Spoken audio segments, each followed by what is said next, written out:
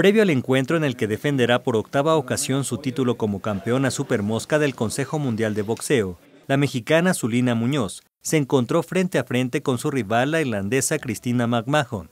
Durante la presentación oficial del duelo que sostendrán el próximo 12 de marzo en Ciudad Juárez, Chihuahua, ambas boxeadoras se dijeron preparadas para el combate, aunque reconocieron que no será una pelea fácil. Sé que lleva una pelea muy dura contra una gran campeona como lo es Cristina, pero eh, nos hemos preparado bastante fuerte.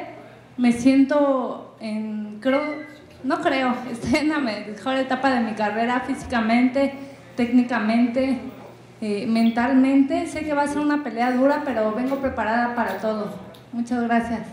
Con información de David Torres e imágenes de Raúl Monroy, Notimex.